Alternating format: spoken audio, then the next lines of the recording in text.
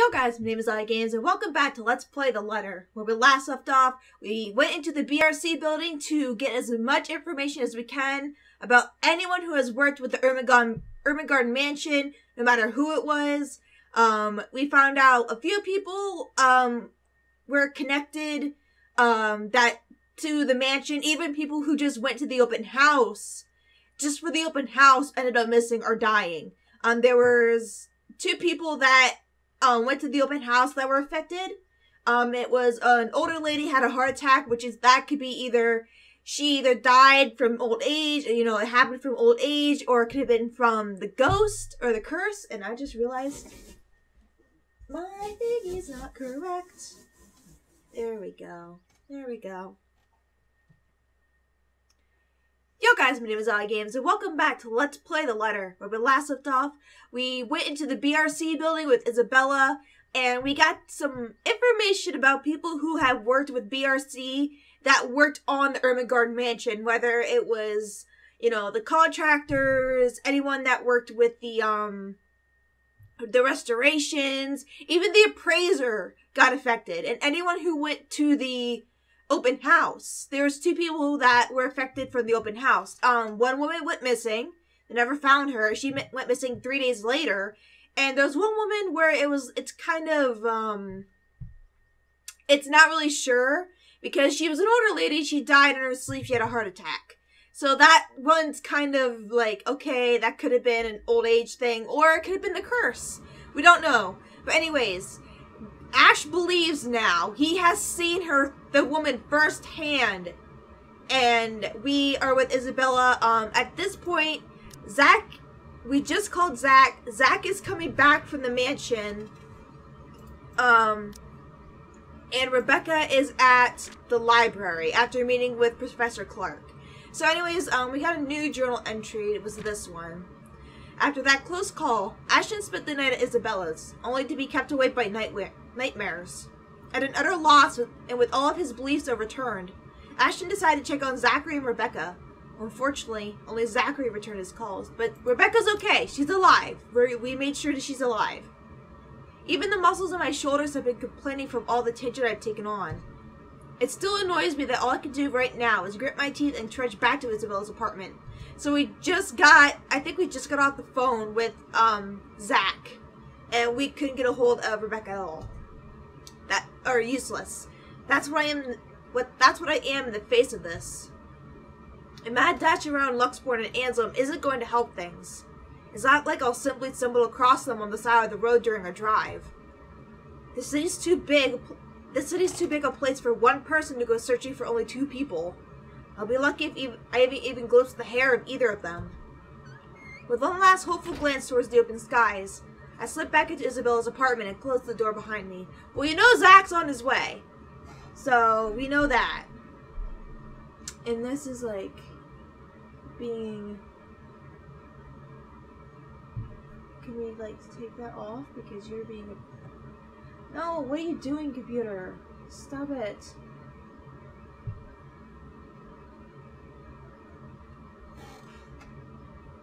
It's not... Sorry, this fucking thing.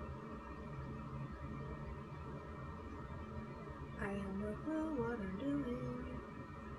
We'll go to auto, cause whatever.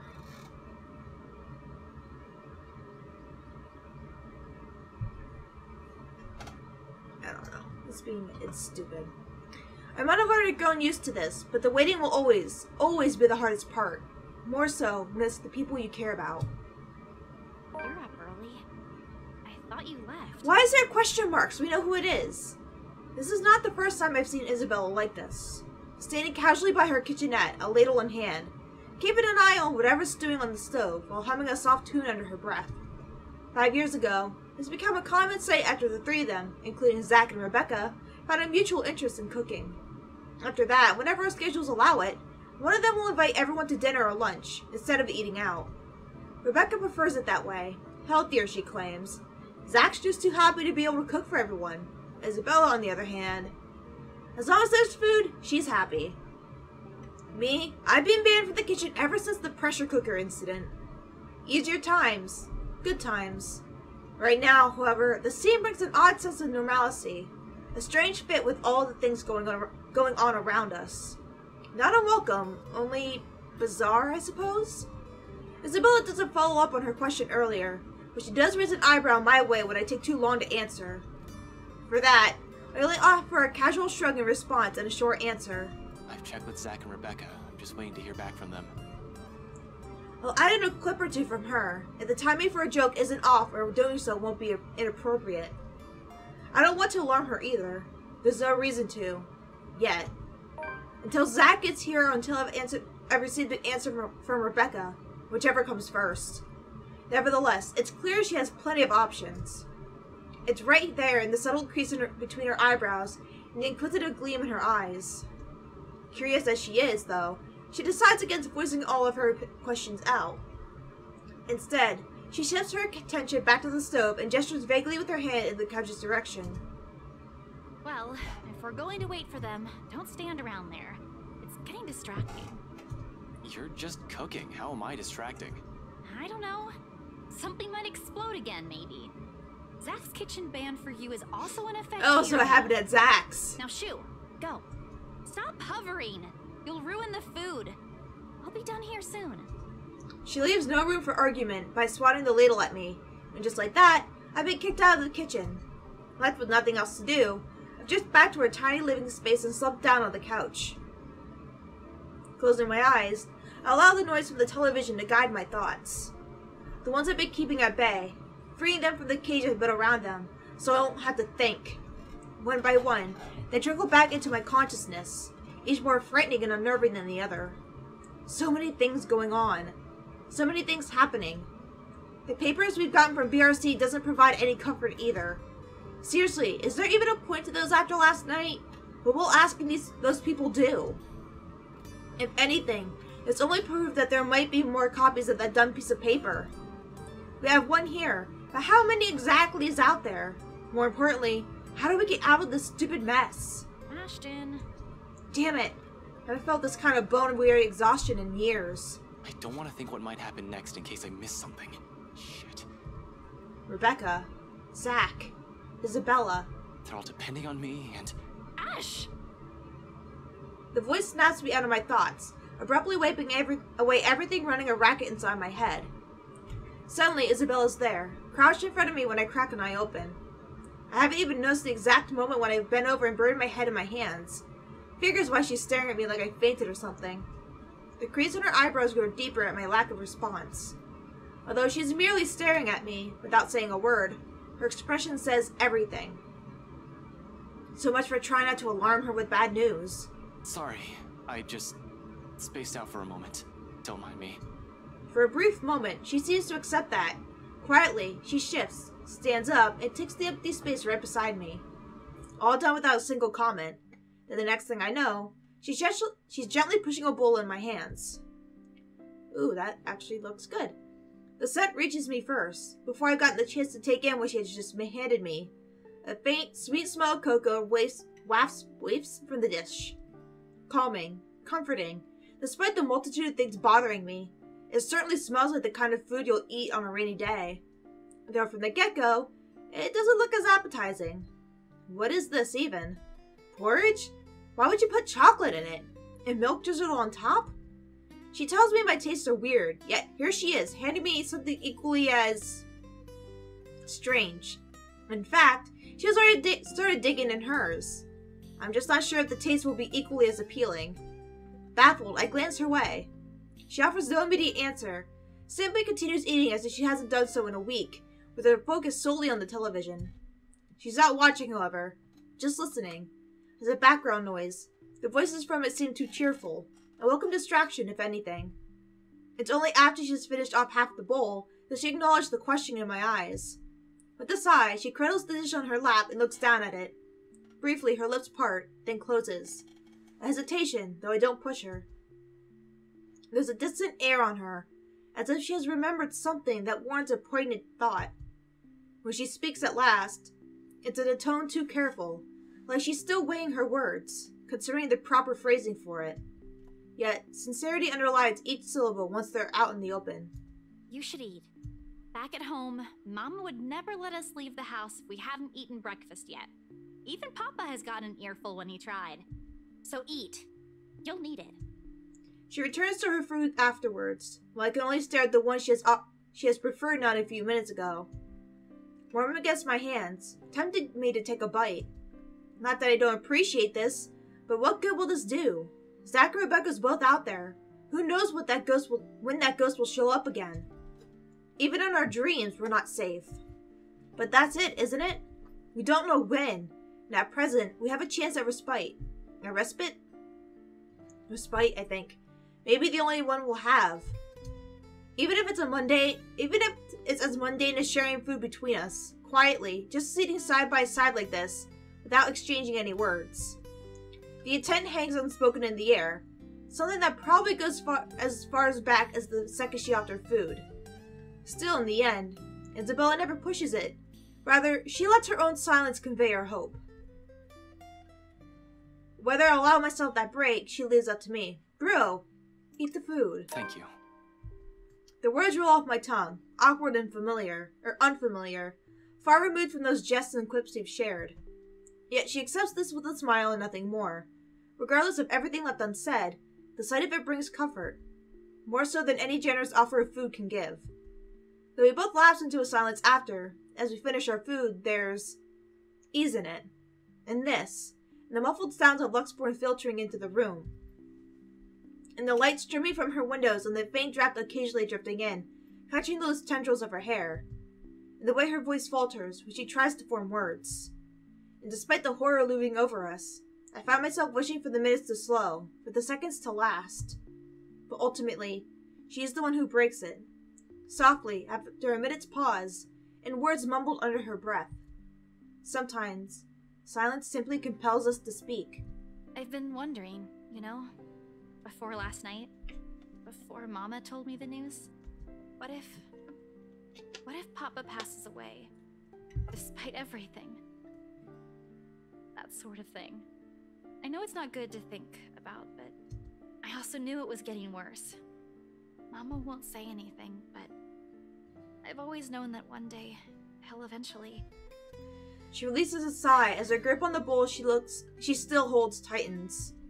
There are no tears, but she might as well have them with how weak her voice falls.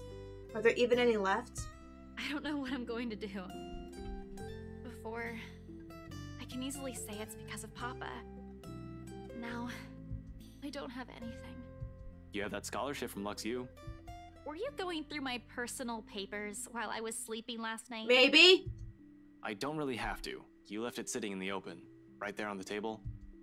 Like there's still anything to hide. She snatches it away from where I placed it back earlier. Except there's no anger or annoyance in her face when she looks at it and rereads every line with a pensive expression. After a short while, she folds it neatly along the creases and sets it back. I don't even know if this will work out. Well, if it doesn't, what about that exhibit you've been planning with Zach? Do I even have to ask where you got that? Zach sucks at lying. You have no idea how easy he is to Say read. it! It was all in his face when I asked about it. And anyway, if that doesn't pan out too. I trail off, trail off, hesitating, measuring the weight of my next words. Genuine as they are, a part of, excuse me, a part of me believes they are a burden, too heavy to impose on her. Because no matter how much I want her to stay, we are not what ties her here. It'll be selfish to ask that of her. More than anything, her family will always come first. I say it nevertheless, if only to let her know that no matter what her choice will be, there will be people here whose lives her who lives here. There will be people who here whose lives her mere presence has changed. It's a weird sentence. I don't know why. Mine, most of all. You. You have us. The words startle her to pause, to a pause, and slowly she turns to me, her eyes wide, disbelief all over her face. But before regret forces an apology up my up my throat, her expression dissolves into something I can't quite place. Something distinctly softer, more tender, familiar, almost in the same manner she glanced at me years ago, that day at the bridge. However, I don't get the chance to figure out what it all means for her. All of a sudden, a knock breaks the moment, and just as fast, both our attentions shift towards the source. Before things can get awkward fast, I stand up to open the door while muttering some flimsy excuse in the process. Uh, I'll get that. It's probably Zach or Rebecca. Probably Rebecca first. Really, I know we're in a pinch, but the timing can't get any worse. Re- Unrelated frustrations aside, once I fling the door open, a whole chunk of stone that has been stuck in the pit of my stomach simultaneously, un- simultaneously unseats itself. There in the hallway stands Zach, his hand raised ready for another knock. Although he's not his most presentable at the, presentable at the moment, ruffled and drenched with sweat as he is, relief quickly washes over me like a tide. He's still panting when he pushes me aside and heads in. The second his feet crosses the threshold, he scans the place, eyeing what little he can he can see of the room from the doorway. When he finds none of whatever he's looking for, he turns to me with a questioning look, one that has a hint of panic in it. You said it was urgent. Did anything happen? Is it Becca? Bella? Everyone's fine. Well, Becca's not here. She went somewhere this morning and hasn't answered any of my calls yet. But Isabella's. I'm here, Zach. Morning. His weight shifts at the same time the stiff line in his shoulder eases, once Isabella walks up to us and welcomes him with a smile. He relaxes then, returns her greeting in kind. As soon as he's let out the last, uh, let out the breath he was he has been holding, the tension's finally off his body. So, nothing's wrong? Why'd you call me here Because we found out shit. My explanation can wait. He has a lot of explaining to do. The fact that he went to Anselm alone, for some for some godforsaken reason, warrants a proper one. Ghost or not, he's already been given a warning. It frustrates me to no end. This might be the plan he mentioned the last time we spoke. I get that he's worried about Hannah Wright. Somehow they become friends, but that's not the issue here. Not when there's a murderous ghost who might go after one of us at any given time. Sure, Zach made it here in one piece, by some dumb luck. He's alright, and this takes one of the li- one off the list of people I need to worry about. Frankly, as annoyed as I am, I can't just stay angry at him when I look at the situation that way. Hell, if that call didn't connect in the exact minute, there might have been a chance he won't be standing here. This is a blessing in itself. Though, first things first, some things still need, need to be discussed. Alright. Don't be mad because just. Alright. Don't, don't, don't. You, you can't be mad at him. You know, it's like you can't. Except when I open my mouth, the only thing that spills out from it is my own relief. Despite myself, despite the rational part of my brain screaming everything wrong about Zach's neat little plan. We've had so many close calls within just a single night. Zach showing up at Isabella's doorstep, alive, whole, and unharmed. I, I might as well take comfort in it while I still can. You're. You're okay. Yeah, cause uh, last time he was uh, he was in a jail cell with his eyes ripped out. You did tell me not to do anything stupid. Suddenly, the whole room feels too heavy, and all I'm able to do is drop down on the couch. The headaches, headaches also threatens to burst in the same moment, or perhaps this this is what release from anxiety feels like. Regardless, I reach up a hand to pinch the bridge of my nose, even if it's a even if it, it'll likely do nothing to alleviate the impending pain. Christ, you were right there! We have this stupid, stupid, stupid curse thing going on, and you were right there! You just walked up inside a private property! Those people can easily sue you for breaking and entering, and that's the least of it. I know, Ash. But I can't just leave things as they are. I've gotta do something. God damn it, Zach, I was worried. Unexpectedly, he laughs. Not the half-hearted sort he makes when he's awkward or coming up with an excuse. A genuine one. Before my annoyance grows again and I snap at him, though, he suddenly catches me in a headlock. His arms looping around my neck while he grind his while he ground while he grind his knuckles against my skull. Helpless, I squirm under his grip in protest. Even then, it's hard to do so do so when you're up against a six footer. Zach! Aw, he's worried. Why didn't you say so? that cool act ain't gonna fool me anymore. Let go! He relents soon enough, though only after he's done ample damage in my hair. I hate it when he does that. But for a few moments there, the tense mood finally lightened up, and everything felt like how it used to be before this whole mess began. Makes appreciating little moments like this easier. Still, Seriously, Zach. Why are you even there? Told you already. I was looking for you. Why would I even go there? Well, you mentioned a plan with Isabella here. I assume that's where you guys went, since that's where she found the letter. Sorry. I was really at a dead end. The logic in it stuns me into silence, to say the least. Then I remember his hesitance, the tone he has taken before agreeing to go here, and all at once my anger from what he has, what he done, what he's done wanes. Partly, this is my fault for keeping things vague. I can't berate him for assuming that, when I've only left him with vague answers. You could have called me. I did. I didn't receive any, and my phone was with me.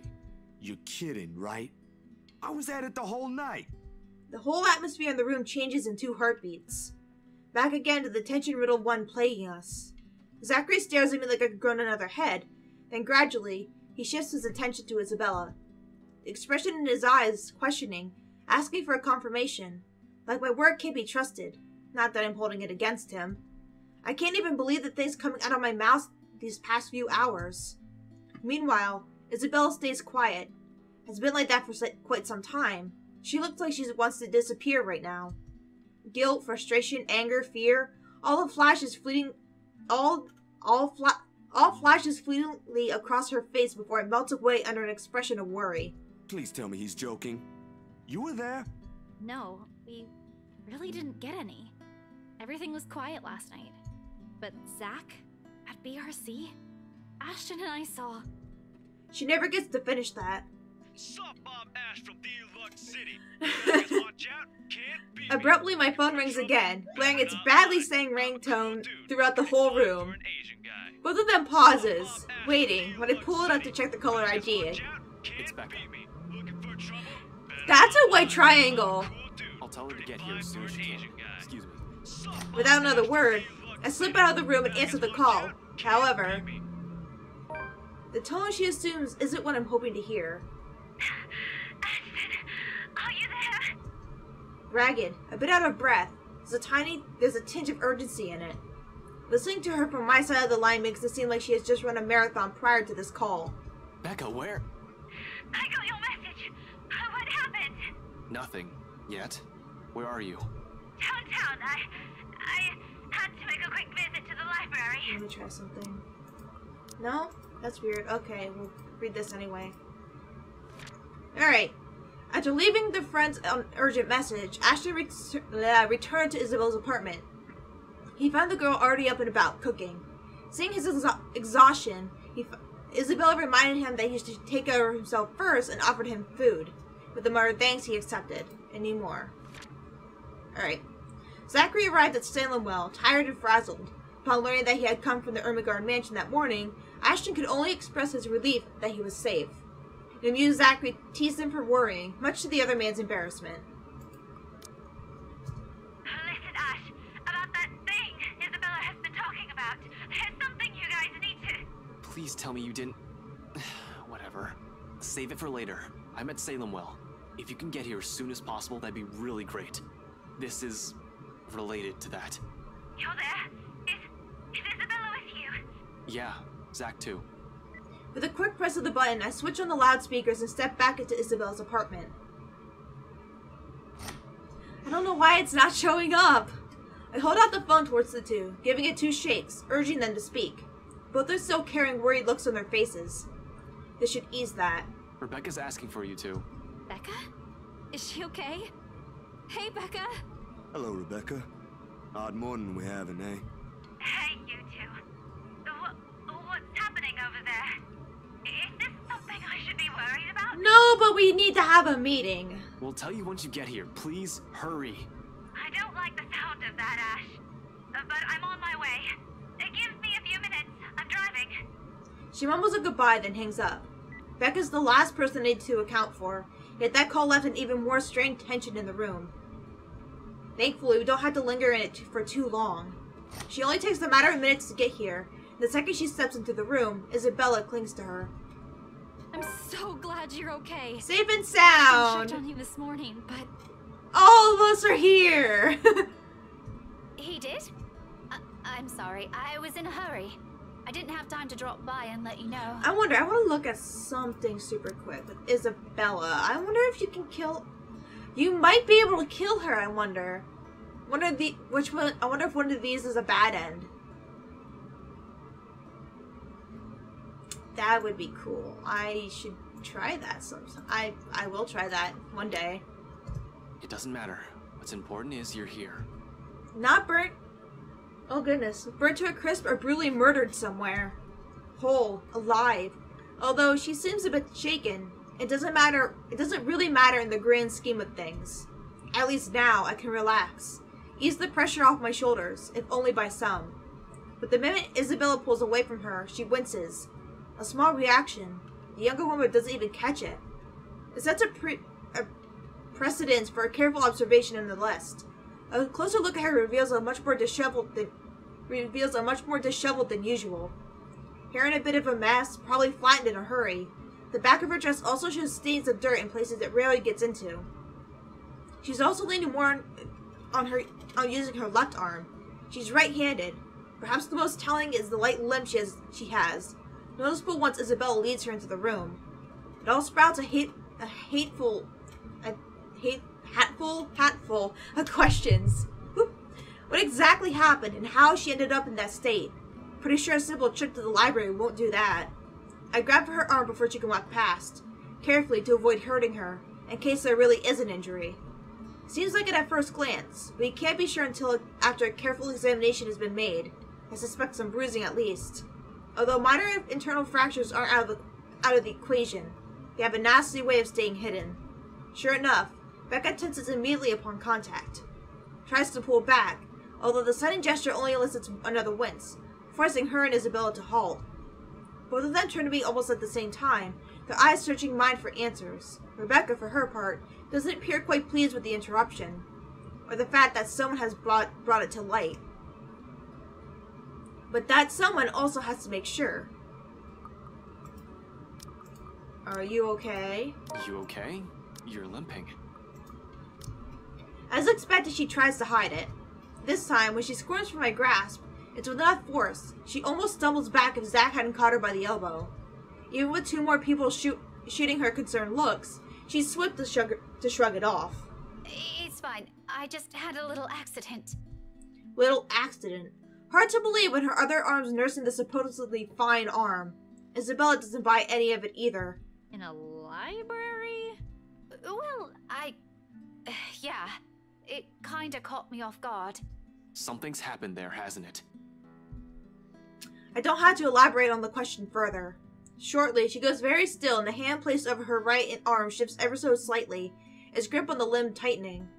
Not too firm to hurt, but just enough for a gesture of comfort for herself. Rarely, she casts a glance at everyone in the room, but only the one she spares for lingers, lingers longer, and in that moment, something unspoken passes between them. An understanding. It strikes me seconds later how utterly familiar her expression is. It's the same one I've seen far too many times in Isabella. Since that day at the movie house, every time her attempts to warn us have been so rudely dismissed. Let me see. Can. can we? We have to check if it's bad. Rebecca hesitates for a moment. Then, after a minute of consideration, she sighs and reaches for the hem of her sleeve, raises it just enough for Isabella to take a good look at it. Not swollen, but a large portion of her skin starting to turn an ugly shade of purple. Oh, that is gonna be one hell of a nasty bruise. Tell me about it. It was a library cart that hit me. Oh, that's You know, right. the old metal ones they keep near the history section. Ouch! Like I said, nasty. But she's there? She went after you. Yeah, I. I was in the archives, looking something up. Suddenly, she was just there. Belle, she was using my own students against me. What kind of terrible, terrible person does that? A ghost. Oh, it makes my blood boil. You should have just ran. That woman's not something you can hit with a with a book. But she did! Laugh it up, Ashton. I did. Then the bloody cart came out of nowhere. And you know what? If it weren't for a damn book, I would be dead by now. Silence descends in the room as the gravity of, of that one word hits us all. Hits all of us. Dead. Another close call. Another would have. Another one we've narrowly avoided. How long can we keep this up? We're bound to break at one point. No normal human being with a sane mind can last like this. It's a miracle Isabella hasn't cracked yet. After all, She was the one who found that letter. I've expected her to have caved in by now, yet her voice, calm and composed in the face of this, is what cuts through the through the thick air. I'll go get a cold compress for that arm. You guys take a seat first. Ashton and I, we. We have a lot of things to talk about. That marks the end of it, at least for the time being. And as soon as Isabella returns and hands Rebecca the cold compress she promised, we get straight down to business. Surprisingly easy, considering the rigid air in the room. Although there's some tense fumbling for words at first, the whole conversation gains steam once what happened at last night at BRC has been put on the table. All at once, everything we brushed off, carelessly ignored, and rudely dismissed had been laid out cl- for close scrutiny. Zach's encounters with the woman in his, in his dreams. Rebecca's close brushes with death every time she's a, she appears. The dread, the fear, the terror she brings out even in the bravest of us. Everything. Because no matter how bleak this all seems, there must still be a way out of this. There has to be. Logic be damned. Or at least, that's what Isabella and I would like to believe. Yet even as the cold morning light shifts into the to the warm hues of a late afternoon, and eventually night, none of this still makes a fucking damn sense. Darkness has fallen, but we're still nowhere near figuring things out. If anything, we're more at a loss than we've ever been before we even started this. The next thing I know, frustration rears its ugly head and the sheets of paper I've been holding smacks the table harder than I've intended. The sound of it echoes loudly in the room, and everyone simply falls silent. Along with it is a release of another long-held breath. Perhaps the hundredth since this morning. We aren't getting anywhere at this rate. Don't just drop it! There must be something in this we aren't seeing yet. It's an odd thing to hear from her. The very words I've been telling myself every single time I find myself facing a dead end. We can use a little of the optimism right now, I guess. I know, but what are we supposed to be looking at here in the first place? The, uh, I don't know. Well, we already looked through those files. You're the one that picked them out last night, right? Maybe more of the history?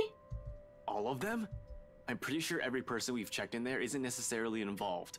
One client possibly died of old age. Remember, you found that dumb paper. Not so dumb if it can kill all of us. Huh, huh. Very funny, Z-Man. Anyway, like I said, you discovered that paper right before the open house.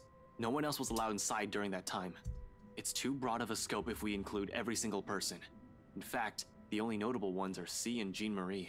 Jean Marie, okay. But if we're going to include them in the count, shouldn't there have been more than enough people to end this fucking curse already? How does this thing even work? Yeah, okay. They went in and out of this place. But no, you still don't get it.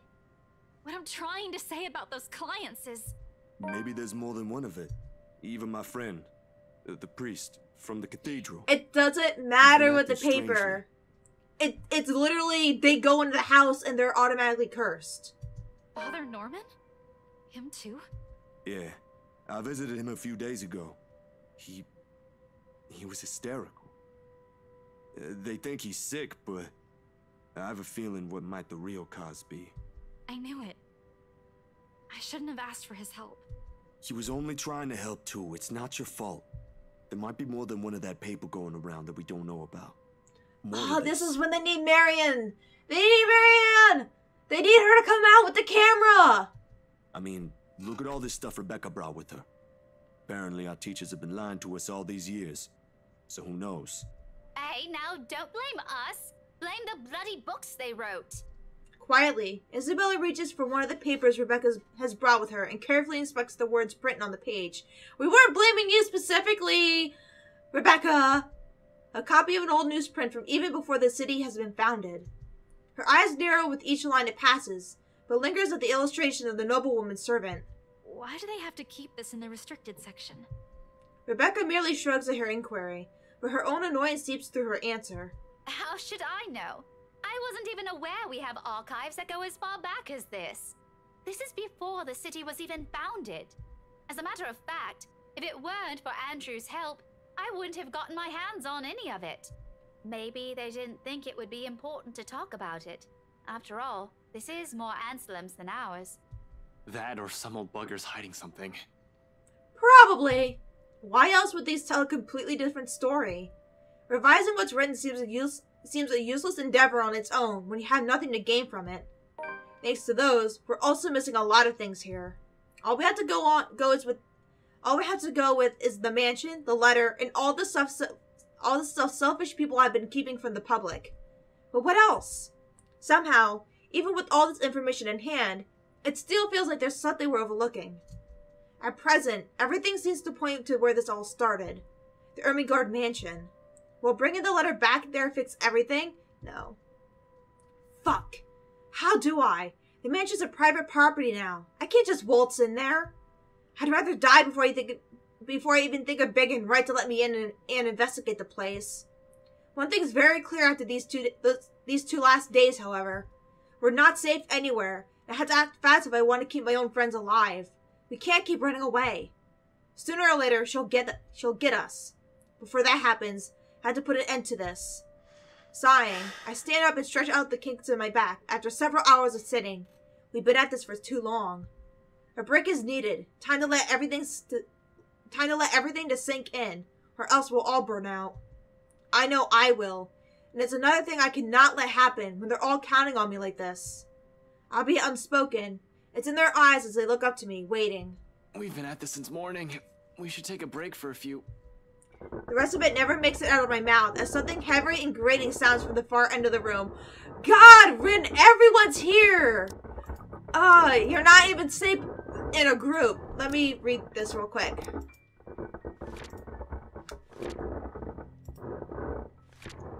To Ashton and Isabella's relief, Rebecca called back. Soon she showed up at Salemwell, looking worse for wear. When the detective asked about it, worried, all the redhead could give was a frustrated answer. Fortunately, before the topic turned grim, Isabella stepped in. A harsh booming noise spreading through the eardrums of everyone in the room. All at once, the three of them were on their feet, while I quickly palmed for my gun on the table. However, before I could pull it up and remove it to safety, the whole racket stops. Stillness descends in the room, and amidst the sudden hush, the four of us exchange anxious glances. So much for a break. Ashton, that might be. Gather everything. No questions asked. No questions asked. They waste no time getting to work, pulling up the documents we've been reading through. Even Isabel is unusually silent as she gathers everything in her arms. Her own movements sharp and precise, a deep furrow in her brow. There's fear, but something hardened and urgent overshadows it. But the moment doesn't last. Before we can even finish, another noise ups the tension already gripping the place. Suddenly, the lights go out, and the wardrobe at the end of the room rattles, as if something begs for freedom. Cautiously, eyes glued to it, eyes glued to it, I take a step forward and I release the lock from my gun. I'm no trigger-happy person. I'm not even sure if this will work on a ghost. But right now, it's the smooth surface against my palm, the trigger with the trigger on my finger, providing the closest thing I had to relief as I approached the closet. Ashton, what are you doing? I, I don't think that's a good idea. We should just where it is they all are, they immediately stop at the slight raise of my hand. But the edge is still the edge is there while they all huddle in the space between the door and the room. In case this goes south, whatever I find inside, they have enough time and space to run for their position. In two deep breaths, I've crossed the room and stood in front of the closet.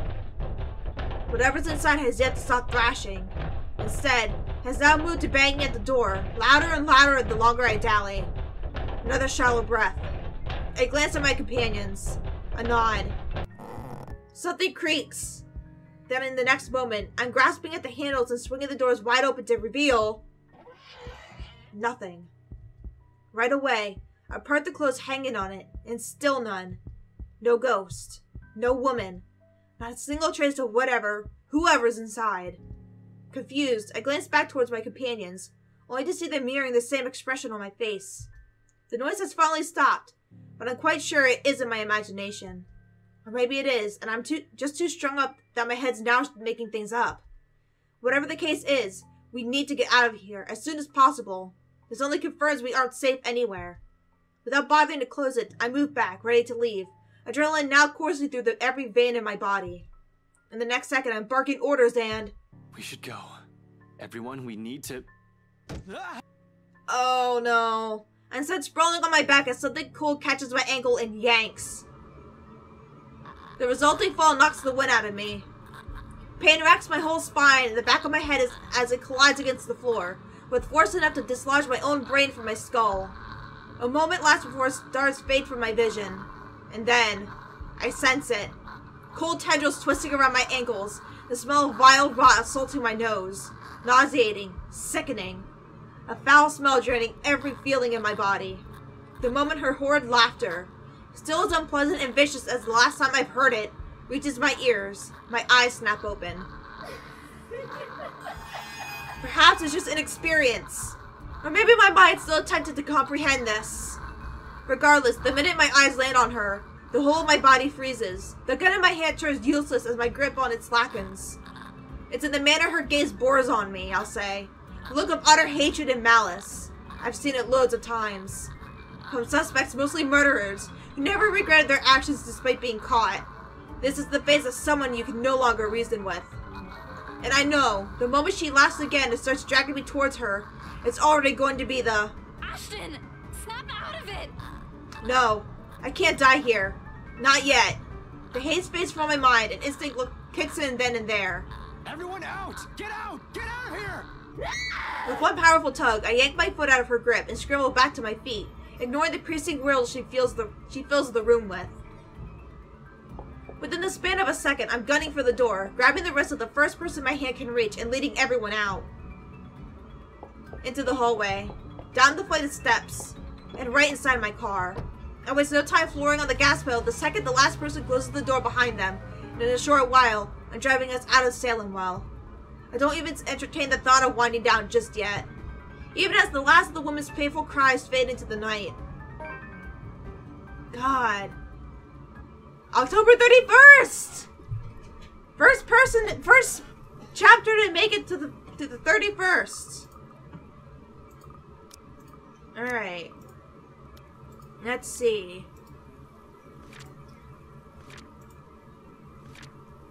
With the help of his friends, Ashton tried to find a way to free themselves of the curse, piecing together what they currently know. But before they could figure it out, a ruckus coming from Isabella's closet broke the silence of the room. Uh, wait, was that... Okay, that was the last one. Alright. Oh, wow. We went... Look how far! Wow. There we are. There we are. Okay, we got pretty far. A dreary downpour starts off the Monday. Although it doesn't last for more than an hour. The dark clouds lift just after the sun peaks over the horizon. Brief as it is, the rain has significantly dampened the park's usual cheery vibe. Mornings like this often mark the, the start of another bad week. An arrest gone wrong, another investigation leading to a dead end, or some truly fucked up shit being called in. Like that one time I was dispatched to a scene where a guy gouged his own eyeball out and almost ate it. Was a few chews away from swallowing it, in fact. Lost my dinner that day. Fun times. Of course, I doubt anything can stop getting cursed by Dan Chain Letter of all things. This is the th sort of thing stupid people pass along as a prank through emails and text messages, for fuck's sake. A ghost chasing after you just puts the icing on that cake. So far, all we've done is run, snoop about, read stuff, and run again. It frustrates me to no end how we're still no closer to an answer. Even my car reflects the state of my, my mind is in. Photocopies of documents litter every available surface. Surface. Surface. Scattered all over the place, spilling from the passenger side and on, into the back seat, making an entire mess of what little space there is. Not that I'm any better. My last shower was 24 hours ago. I haven't slept at all. My last, last meal was that chocolate porridge thing Isabella offered. The way I am now, I'll definitely get a scolding. Rebecca will definitely give me an earful and tell me not to and tell me to take care of myself better. Say that I'm killing myself on the job. I can already hear Isabella complaining how dark the bags under my eyes are getting, and how I reek and how I need to shower pronto. I can rest easy when this is all over. It's not that I can't feel the pang of hunger. With that woman chasing after you, it's difficult not to feel anything other than horror. The rush of adrenaline coursing through my veins and my desperation to survive. In fact, I can still sense the ghost of her touch from last night. Her bony digits wound tightly against around my ankle and that horrid smile she has on her as she pulls me closer. The memory's enough to send a shiver up my spine and make me antsy. Perhaps the only thing comfort comforting about this is the sight of my gun nearby. From my dashboard, sunlight glints off Ophelia's surface. Really? You need your gun? Normally, I keep it hidden in a compartment. Luxport police regulations only allow authorized people to carry firearms. Even those are limited. I do have the authorization, but I never really saw the need for its use, when the standard issue tasers are more than good enough to, inca- to incapacitate anyone. If not, I can always throw them on their back. Those judo lessons Dad forced me to get as a child, as a kid, has its uses too. On a ghost, though, all of those will probably yield the same as result. They're all useless. I might as well use a stick. However, it's the feeling of ease I'm after, and what little or what little of it I can gather from it. The awareness that I, at least, have something to protect myself with in case things go wrong. That I can still protect the people who are still depending on me despite the missteps I've taken. It doesn't take the edge off, though. That feeling that your whole body's been strained far beyond its capacity. Frankly, I'm already running out of steam. The only thing pushing me right now is knowing someone's still depending on me. A stretch is still in order, though. Whoops. I think I said I'd been sitting for too long. I've been sitting here since last night. Soon I step out of my car, closing it behind me with a thud as I take in my surroundings. The rain did wonders. The morning air feels crisper and cooler than it has ever been in days. For once, the weather seems to be taking a turn for the normal. It looks more normal. In the distance, beyond the buildings line, the, line of the horizon, dark clouds are blowing in. A storm might be due this evening, give or take. A shame for the people looking forward to a Halloween night. Ah! For me, I just stay in, eat candy, watch horror movies. That's about it. I'm just not sure whether this is something I can look forward to as well. Still, I bask in the change it brings. Inhale, exhale. Breathing in, taking in the peace, as if it'll be my last. But as with all the good things, the quiet shortly comes to an end. Not necessarily a bad end. The chatter reaches my ears first, halting my movements. Sure enough, when I glance up, I find them, Zach, Rebecca, and Isabella, just as they've entered the park grounds, bag of convenience food and store and stu- convenience store food in hand. After last night's flight from Salemwell, we've elected to stay the night here, unsure if our own homes will be still safe. Normally, we'd all be adverse to the idea of spending the night outside like this, but panic and distress has tainted that decision. It's not like any of us had gotten an ounce of sleep anyway. On the off chance one of us did, it only lasted but a second, or it's a fitful one. But looking at them right now from afar, it's easy to mistake them for just a group of friends on a day out. Isabella's gesturing wildly with her arms as she talks. Something's funny or amusing, probably, because it's soon followed by Zach's booming laughter and Rebecca's giggles. Their voices fill the atmosphere with light air, temporarily easing off the disheartening mood. It's easy to pretend we're not knee deep in a life and death situation the way they're acting now. If anything, it's only their appearance that betrays that mask. Slightly, slightly disheveled, bags under their eyes, exhausted curve in their shoulders, and dragging footsteps. Most people would think you're a bum at this point. But the closer they get, the more obvious these signs are to the naked eye.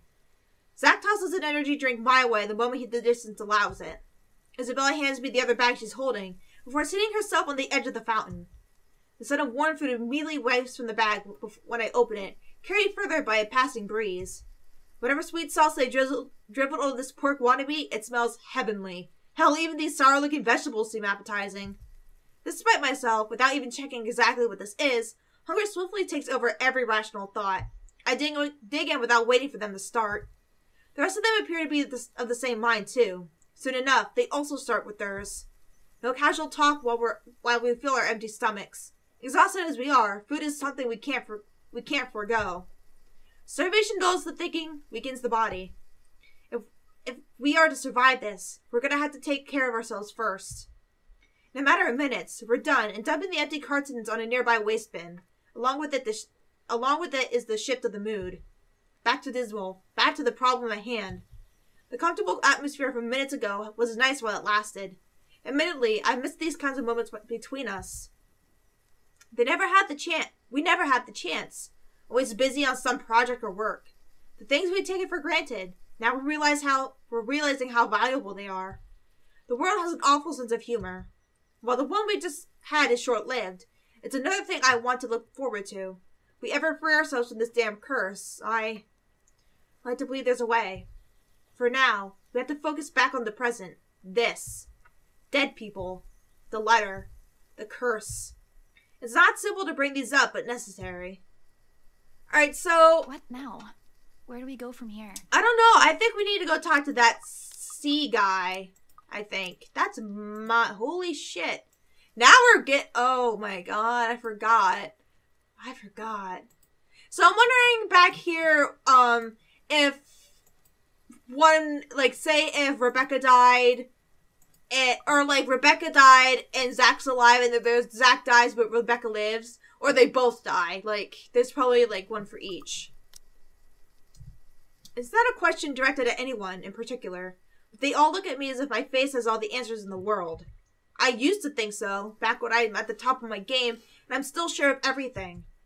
Now there's just uncertainty sullying, sullying whatever decision I come up with.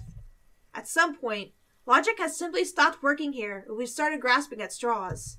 Along with exhaustion, fatigue, and stress, we have enough kindling to get a fire burning. The not so pleasant kind of fire. Oh boy, are we arguing? Well, first, we can't just stay here.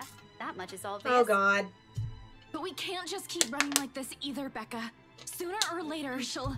As if we have a choice. We can't even go back to our own homes because that thing might get us. No, we're safe. But dying is the last thing I want to do right now, Isabella. Not to a stupid chain letter you were. You were too, too gullible to pick up, bring with you, and show to everyone. She didn't willingly showed it. Show it. You guys took it from Didn't her. do it on purpose. Becca, had I known, had I known, I wouldn't have. Hey, hey, you two. None of us want to die to this. Just calm down. We ain't getting anywhere shouting at each other. Whose side are you on, Zachary? No one's. But we can't just say it's her fault. She did warn us not to open it, and both you and Ashton. That doesn't exempt true. her from any blame. She's still largely responsible for it. And you're not? Damn, those eyes of hers. Like, holy shit. I didn't say that. Do you really think I don't blame myself for this as well? I tried to warn all of you. None of you listened. Now you're blaming me for something I kept telling you guys since day one? You're just as responsible for this as I am. So now you're throwing it back at us? We wouldn't even be having this problem if you're. Will you two cut it out? This ain't the place for. for I don't know, petty squabbles. If you don't want to get caught in it, then stay out of this, Zachary. Oh no, Zach. Don't stop her. Let her say it. I'm sure she, if I didn't know sorry. any better, she's already. Already what? You want me to say it? Out loud? That I find you in this whole thing? All right, that's enough. Everyone, shut up. Damn. They all fall into silence at my words, and an awkward, stifling mood descends between us. I do not mean to shout, to snap at them, to add to that kindling. Not in a moment when any time, anywhere she might get to one of us. We're all in the same boat, yet here we are, playing the blame game. Little by little, we're falling apart, caving into the pressure, to the bleak situation we're trapped in. Did that ghost mean for this to happen? To divide us, divide each of us so she could pick us off one by one right after? Who knows? Anything's possible now if her kind can exist. With the fire burning between us rising as high as it does now, I'm afraid, deathly afraid, that the possibility might come sooner than I can figure all this out. Fuck, I still can't think straight. I can't even believe the next words coming out of my mouth. That out of everyone, I had to be the one saying these to them. This is more their forte than mine. Keeping the peace, place, placating, placating, placating, eh, while I unintentionally aggravate people with badly chosen words. Funny how fast the tables have turned just after one unfortunate incident. How am I even supposed to cope? If we all want to get out of this mess in one piece, we're gonna have to cool our heads first. Before my own temper flares, I walk away and slide back into my car. The door slams with more force than needed, I like to blame it on the pent up anger boiling up in me. Not sure even sure what or who I'm angry at. The ghost? At them? Or maybe at myself for being this useless. Because despite none of them saying it, I know, I know, God damn it, they're still counting on me. In spite of my failures, or every harsh word I've uttered, or how unbearable I could be as a friend, it's there when the tension after the argument finally breaks, and one by one, they follow me and get in the car. It's in this it's in concerned glances they shoot my way when I start the engine without a word and drive off. It's in their silence, a heavy gift, their unwavering trust. Yet it's one it's one I'm more than willing to carry, even through my own exhaustion, if only to keep them safe. In this city of 68,000 strangers, they they are the ones only ones I have left. Though in all seriousness, a good rest is still our best bet for now. Thinking with an exhausted brain is almost as good as running around in circles. We might as well just throw ourselves at that ghost and be done with this. The local Irish pub may not be the best place to hang around when one hasn't slept a wink or you're stressed. More often than not, it's loud. Sometimes the music played by drunkards grates the ears, and the whole place smells like piss on a bad day. All in all, it's very definition of the last place I'll hang around after a wakeful night. But it's safe. Or as safe as it can be with G's security watching the place. Makes it easy to find help, in case you find yourself in a tight spot. The place being owned by a person I've implicitly placed my trust on provides some semblance of comfort, too. Gregor, bartender G, or just G to his regular patrons, might be rough around the edges.